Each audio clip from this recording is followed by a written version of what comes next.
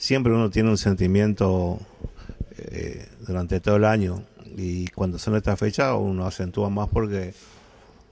uno también tiene recuerdos y emociones que, en el pasado del pasado. Así que bueno este 10 de junio eh, tuvimos la oportunidad de, conversar con los, con los alumnos de la escuela. Y esta iniciativa hay que rescatarla y hay que continuarla porque el legado que nosotros le podemos dejar a nuestros futuros gobernantes también es la enseñanza, es la transmisión de las ideas y también que conozcan de, primera mano lo que fueron alguna experiencia de, de los excombatientes, ya sea los que fueron del 12, como en mi caso, o de otras unidades del ejército. Y también tuvimos la oportunidad de contar con el amigo y veterano guerra Jorge Luis Macín, que es de Reconquista y que está viviendo acá, que nos pudo transmitir también cierta experiencia de lo que fue el hundimiento del crucero General Belgrano. Así que estos temas para nosotros son importantes y siempre nosotros vamos a estar predispuestos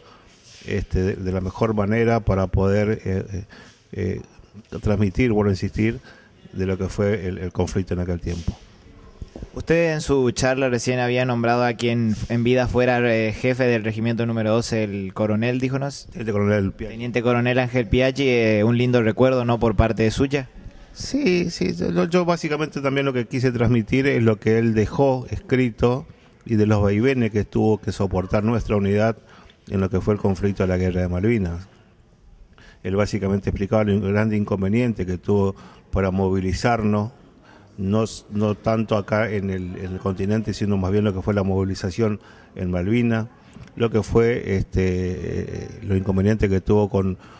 que no se puede pasar el armamento pesado y, muchos más inconvenientes que él lo relata muy bien en su libro, así que quise traer a colación porque por ahí se puede tomar este, que uno tiene una mirada muy subjetiva, pero yo creo que el último soldado como fui yo y el primer que fue el, jefe de regimiento coincidíamos en el análisis de lo que realmente pasó y lo inconveniente que tuvo que soportar el 12 para poder afrontar esta guerra. Eh, mensaje final, señor Núñez. ¿Reafirmamos entonces la soberanía argentina sobre las Islas Malvinas? Totalmente, totalmente, a pesar de que los tiempos